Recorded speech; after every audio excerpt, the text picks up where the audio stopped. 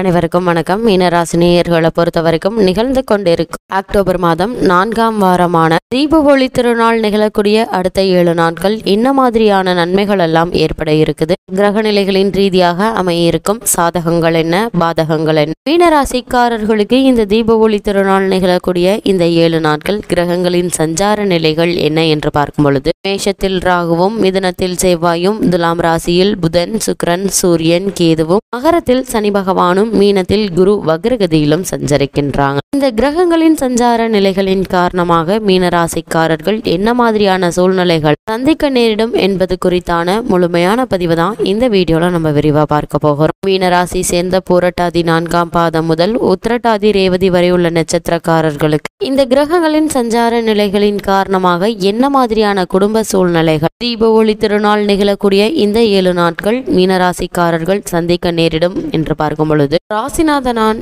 குரு ஆட்சியில் இருக்கிறாருங்க மீனராசிக்காரர்களுக்கு. ஆனா வக்ரமாக இருக்கிறாரு. ஜென்ம குரு தொல்லை தரும் என்பாங்க. ஆனா மீனராசிக்கு அவ்வளவு கெடுதல் எதுவும் குரு பகவான் செய்ய மாட்டாரு. குடும்பத்தில் நல்லுறவு அன்பும் நிலவுவதால காரியங்களில் வெற்றியும் திருப்தியும் இருக்குங்க இந்த வாரத்தில். மனதைரியமும் ஆற்றலும் அதிகரிப்பதற்கான சாத்தியக்கூறுகள் இருக்குது. சமாளிக்கும் திறன் உங்களுக்கு அதிகரிக்க இருக்குதுங்க. தொல்லை தந்த சனி பகவானின் வக்ர நிவர்த்தியால பல வகையிலையும் உங்களுக்கு ஆதாயம் கிடைக்க இருக்குது. உங்கள் மனது தரும் சில சத் எச்சரிக்கைகளை கூர்ந்து கவனித்தால் எதையும் சமாளித்து விடலாம். முக்கிய பிரமுகர்களால ஆதாயம் உங்களுக்கு உண்டாக இருக்கு என்பதை கிரகங்களின் சஞ்சார நிலைகள் உங்களுக்கு தெளிவாக எடுத்துக்காட்டுது. உறவினர்களிடம் பகை வேண்டாங்க இந்த வாரத்துல. குறிப்பா பேச்சில் வீண் வார்த்தைகளை விளையாட்டாக கூட பேச வேண்டாங்க. ஏன்னா எட்டில் சூரியன் நீச்சமடைவதால வாரத்தின் முற்பகுதியில் சுழல் உடல் உபாதைகள் தோன்றுவதற்கான சாத்தியக்கூறுகள் இருக்குது. மீனராசிக்காரர்கள் இந்த தீப ஒளி திருநாள் நிகழக்கூடிய இந்த வாரத்தில் ஆரோக்கியத்தில் அதிக கவனம் செலுத்த வேண்டும் என்பதை கிரக நிலைகள் உங்களுக்கு அறிவுறுத்தது. அது மட்டும் இல்லாம இந்த வாரம் உங்களுக்கு மிகவும் அனுகூலமான வாரமாகவும் அமைஞ்சிருக்குதுங்க. ஏன்னா லாபஸ்தானத்தில் சமனி சனி அமர்ந்திருப்பதால பொருளாதார நிலை என்பது திருப்திகரமாக அமைய இருக்குது ஆரோக்கியத்தில் அபிவிருத்தி அடையுங்க. குடும்பத்தில் ஒற்றுமை நிலவும் கூடிய ஒரு வாரமா இந்த வாரம் அமைஞ்சிருக்குது. செலவுகள் கட்டுக்கடங்காமல் இருக்கும் பட்சத்துல வருமானம் என்பது நல்லபடியாகவே நீடிக்குங்க. பணப்பற்றாக்குறை என்பது ஏற்படுவதற்கான சாத்தியக்கூறுகள் இல்லை. அதே மாதிரி வெளியில் கொடுத்து நின்று போன பணத்தை திரும்ப பெறுவதில் மேலும் தாமதமாவதற்கான ஒரு சூழல் உருவாக இருக்கு என்பதை கிரகங்களின் சஞ்சார நிலைகள் உங்களுக்கு அறிவுறுத்துது. மீன ராசிக்காரர்களை பொறுத்த வரைக்கும் இந்த தீபாவளி திருநாள் நிகழக்கூடிய அடுத்த ஏழு நாட்கள் நின்று போன பணத்தை திரும்ப பெறுவதில் தாமதங்களும் தடைகளும் ஏற்படுங்க. ஆரோக்கியத்தை பொறுத்த வரைக்கும் திருப்திகரமாக இருக்கும். மீனராசி சேர்ந்த உத்தியோகஸ்தர்களுக்கு நிகழ்ந்து கொண்டிருக்கும் அக்டோபர் மாதம் நான்காம் வாரமான தீப ஒளி திருநாள் நிகழக்கூடிய அடுத்த ஏழு நாட்கள் என்ன மாதிரியான சூழ்நிலைகள்? நீங்கள் சந்திக்க நேரிடும் என்று பார்க்கும் பொழுது லாபஸ்தானத்தில் சனி பகவான் சுபபலம் பெற்று சஞ்சரிப்பதால நீங்க வேலை பார்க்கும் இடத்துல அனைவருடைய ஒத்துழைப்பும் உங்களுக்கு கிடைக்க இருக்குதுங்க. குறிப்பாக உங்களுடைய ஜனன கால தசா புக்திகள் இந்த வாரத்தில் அனுகூலமாக இருக்கும் பட்சத்தில். இந்த வாரத்தில் நீங்கள் சிறு ஊதிய உயர்வு ஒன்றையும் எதிர்பார்க்கலாம்.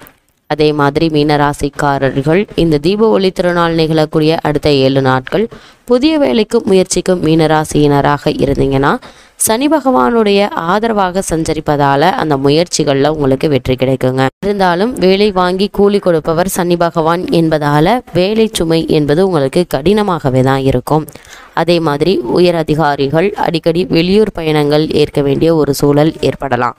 சில தருணங்களில் நிர்வாகத்தினருடன் வாக்குவாதம் ஏற்படுவதற்கான சாத்தியக்கூறுகளும் இருக்குதுங்க. கூடுமான வரையில் இது மாதிரியான வீண் விவாதங்கள் தேவையில்லாத சச்சரவுகளை மீனராசிக்காரர்கள் குறிப்பாக உத்தியோகஸ்தர்கள் தவிர்ப்பது மன நிம்மதியை தரும்.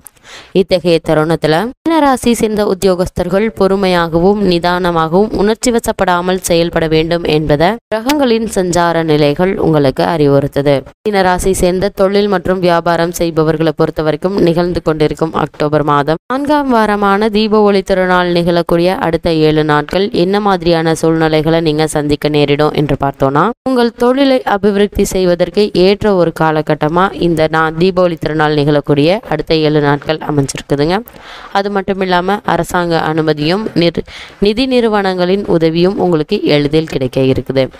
குறிப்பாக மீனராசி சேர்ந்த தொழில் மற்றும் வியாபாரம் செய்பவர்களுக்கு இந்த தீபாவளி திருநாள் நிகழக்கூடிய அடுத்த ஏழு நாட்கள் ஏற்றுமதி இறக்குமதி துறையினருக்கு கூட உலக சந்தையின் சூழ்நிலை சற்று சாதகமாக மாற இருக்குதுங்க. வர வேண்டிய பாக்கிகள் வசூல் செய்வதில் மனதை செலுத்தலாங்க. ஏன்னா வசூல் செய்வதை நீங்கள் முயற்சிக்கும் போது வரவேண்டிய பாக்கிகள் வசூலாவதற்கான சாத்தியக்கூறுகள் அதிகம் இருக்குது.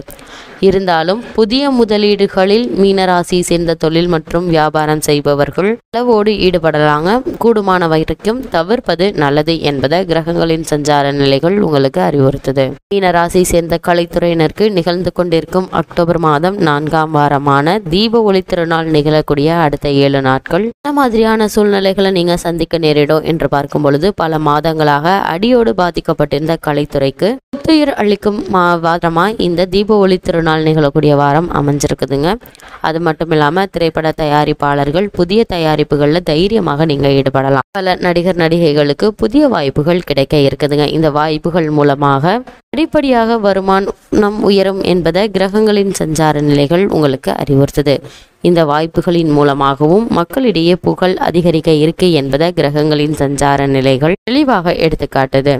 மீனராசி சேர்ந்த அரசியல் துறையினரை பொறுத்த வரைக்கும் நிகழ்ந்து கொண்டிருக்கும் அக்டோபர் மாதம் நான்காம் வாரமான தீபாவளி திருநாள் நிகழக்கூடிய அடுத்த ஏழு நாட்கள். என்ன மாதிரியான சூழ்நிலைகளை நீங்கள் சந்திக்க நேரிடும் என்று பார்த்தோம்னா அரசியல் துறையை தங்கள் பிடியில் வைத்து கொண்டுள்ள சுக்கிரன் செவ்வாய் ஆகிய கிரகங்கள் அனுகூலமாக அமையவில்லைங்க. மிகவும் சாதுரியமாக இருக்கக்கூடிய ஒரு தருணமாக மீனராசி சேர்ந்த அரசியல் துறையினருக்கு அடுத்து வரும் ஏழு நாட்கள் அமைஞ்சிருக்குது. சுக்கரன் மற்றும் ராகுவின் நிலை மிகவும் தெளிவாக உங்களுக்கு எடுத்துக்காட்டுது. இந்த வாரத்தை பொறுத்த வரைக்கும் நீங்கள் மிகவும் எச்சரிக்கையாக இருக்க வேண்டிய தருணமாக அமைஞ்சிருக்குதுங்க. ஏன்னா நீங்கள் செய்யக்கூட ஒரு சிறிய பிள்ளையும் கூட ஒரு பெரிய பிரச்சனையில கொண்டு போய் விட்டுவிடும் என்பதை கிரகங்களின் சஞ்சார நிலைகள் உங்களுக்கு அறிவுறுத்துது.